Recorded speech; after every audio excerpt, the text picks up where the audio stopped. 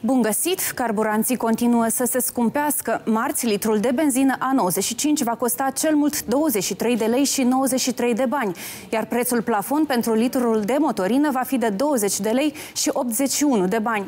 ANRE susține că pe fondul discuțiilor privind iminența unor acțiuni militare în Ucraina, prețul petrolului pe piața internațională este în continuă creștere, acum fiind la cel mai înalt nivel din ultimii 8 ani, peste 96 de dolari barilul.